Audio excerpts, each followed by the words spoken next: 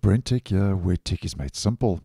So Windows 11 has the new lock screen cards and widgets, as you may well know, which if you head over to your lock screen, show the weather, markets, traffic, and also trending.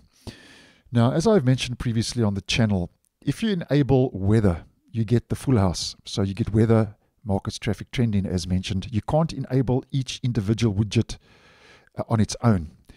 And obviously, this is causing a lot of um, annoyance and frustration with a lot of Windows 11 and even Windows 10 users.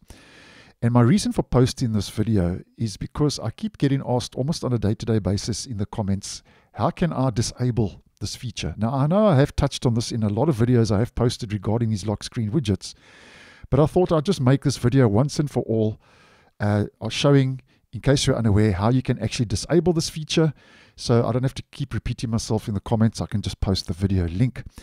So as mentioned, if you enable weather, it's the it's, it's the full package. So what we need to do is um, we need to head back into our OS.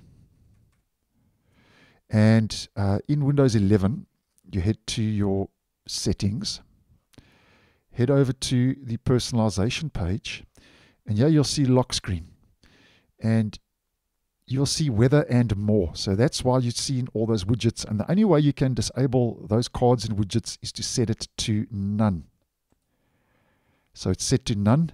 And if you go back now to your lock screen, you'll see that those widgets and those cards have been removed. So that's just a quick video in case you're unaware how you can actually disable those lock screen cards and widgets um, in Windows 11. So thanks for watching and I'll see you in the next one.